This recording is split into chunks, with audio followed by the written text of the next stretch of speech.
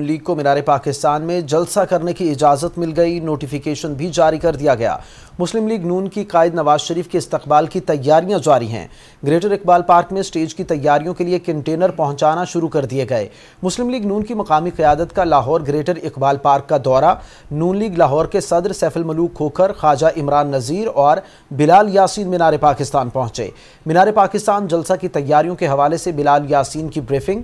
Greater Iqbal park में जलसे के हवाले से पिंडाल और स्टेज के हवाले से बताया गया।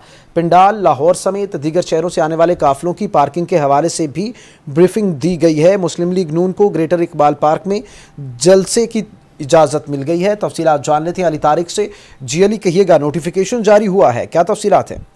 जी बिल्कुल पाकिस्तान मुस्लिम लीग नून को मीनार पाकिस्तान पर जलसे की इजाज़त जो है मिल गई है। डिप्टी कमिश्नर ने एनओसी भी जो है जारी कर दिया है और आज सुबह जो है ज़िले इंतजामिया ने और बारह बजे के करीब जो है वहाँ पे दौरा भी किया था और मुस्लिम लीग नून को मीनार पाकिस्तान में जलसे की इजाज़त तकरीबन चालीस के करीब शराइ हैं, उनके साथ दी गई है।